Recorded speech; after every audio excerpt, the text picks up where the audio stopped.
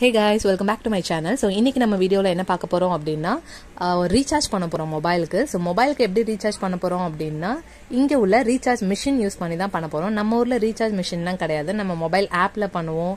இல்லை அப்படின்னா ஆன்லைனில் பண்ணுவோம். பட் இங்கே வந்துட்டு ரீசார்ஜ் பண்ணுறதுக்குனே தனியாக ரீசார்ஜ் மிஷின் ஏடிஎம் மிஷின் மாதிரி இருக்குது ஸோ அதுதான் இப்போ நீங்கள் பார்த்துட்ருக்கீங்க. இதுதான் இந்த ரீசார்ஜ் மிஷினோட ஹோம் ஸ்க்ரீன் இதில் எல்லா நெட்ஒர்க்ஸுமே இருக்கும். நீங்கள் என்ன சிம் யூஸ் பண்ணுறீங்களோ அந்த சிம்மோட நெட்ஒர்க்கை ஃபஸ்ட்டு செலக்ட் பண்ணிக்கணும்.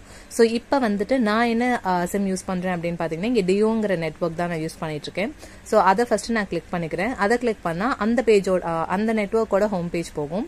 அதில் போய்ட்டு நீங்கள் டாக் டைம் மோர் கிளிக் பண்ணிவிட்டு உங்களோட மொபைல் நம்பர் என்டர் பண்ணணும். ஸோ உங்களோட லோக்கல் மொபைல் நம்பர் நீங்கள் என்டர் பண்ணீங்க அப்படின்னா உங்களுக்கு அதிலே வந்துட்டு ஆப்ஷன்ஸ் காமிக்கும். ஸோ மொபைல் நம்பர் என்டர் பண்ணதுக்கு அப்புறமேட்டுக்கு நெக்ஸ்ட் நீங்கள் கொடுத்தீங்க அப்படின்னா எவ்வளோ அமௌண்ட்டுக்கு நீங்கள் ரீசார்ஜ் பண்ணுமோ அந்த அமௌண்ட் வந்துட்டு நீங்கள் இன்சர்ட் பண்ணணும். இது வந்துட்டு காயின்ஸ் எல்லாம் எடுத்துக்காது ஜஸ்ட் வந்துட்டு நோட்ஸ் மட்டும்தான் எடுத்துக்கும். ஸோ வந்துட்டு காயின் நீங்கள் யூஸ் பண்ணி இங்கே ரீசார்ஜ் பண்ண முடியாது.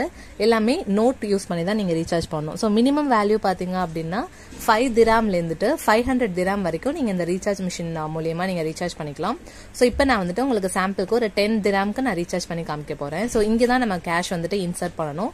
நீங்கள் கேஷ் வச்சிங்கனாவே அது ஆட்டோமேட்டிக்காக புல் பண்ணிக்கும். புல் பண்ணிவிட்டு நீங்கள் எவ்வளோ அமௌண்ட் நீங்கள் கொடுத்துருக்கீங்களோ அந்த அமௌண்ட் டிஸ்பிளேல காமிக்கும். அதை நீங்கள் கன்ஃபார்ம் பண்ணீங்க அப்படின்னா உங்களுக்கு வித்தின் செகண்ட்குள்ளே ரீசார்ஜ் ஆகிட்டு உங்களுக்கு இந்த மாதிரி ஒரு ரெசிப்ட்டும் வந்துடும்